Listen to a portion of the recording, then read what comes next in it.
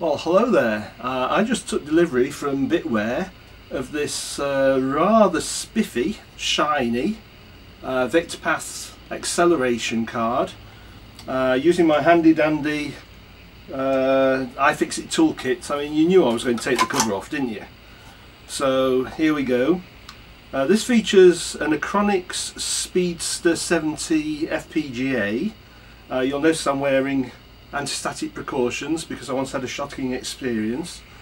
Uh, this little beauty is incredible. It's got a network on chip which gives you a theoretical device maximum of 20 terabits per second uh, data path. Uh, we've got uh, a 1 times 2 gigabit, 200 gigabit Ethernet interface there and a 1 times 400 gigabit Ethernet in, uh, interface there.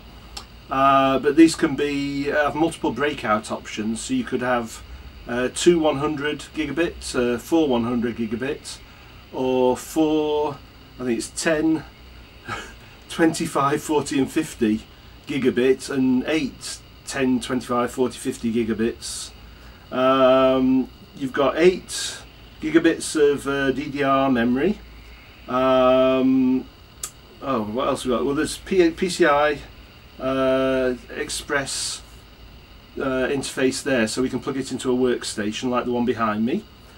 Um, we've got uh, an Oculink, well there's also GPIO, you've got uh, access to some of the GPIOs on the uh, FPGA so you can do some you know, clever little low level things. We've got an Oculink interface which lets us do FPGA to FPGA uh, deterministic high bandwidth direct uh, communications. Uh, it's got two timing inputs here so that we can synchronize across multiple boards and scale everything.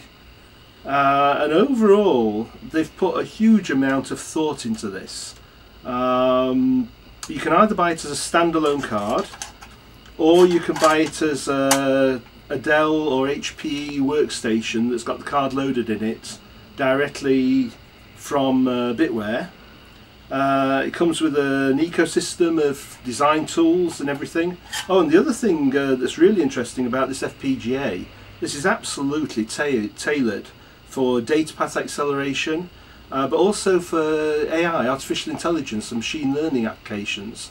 It's got thousands of these machine learning blocks in it that have got uh, fixed point multipliers, like 32 fixed point multipliers, uh, floating point multipliers, you can fracture the multiplication, uh, different bit widths and everything. They support all the major standards like TensorFlow and um, everything.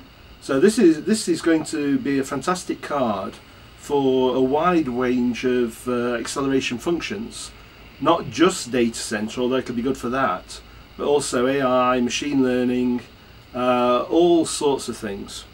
So the next, all I'm thinking of now is how I'm going what am I going to accelerate with it? Uh, watch this space. Cut!